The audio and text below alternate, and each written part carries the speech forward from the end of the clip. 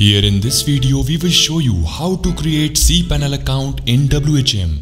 If you have a WHM root access or WHM reseller account, then you can easily create a new cPanel account. Simply log into your WHM and then go to account function. Now from here, go inside create a new account. Now from this page, you can create a new cPanel account easily. Enter your domain name here, enter the username of cPanel, password of cPanel, confirm it and then from here choose a package.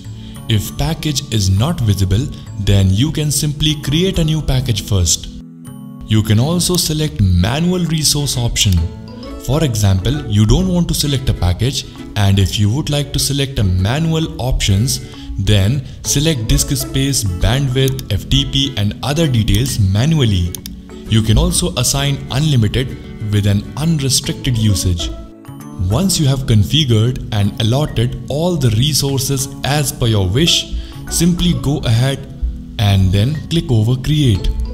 Now in this way a new cPanel account will be created successfully. Please subscribe to our channel if you have still not subscribed.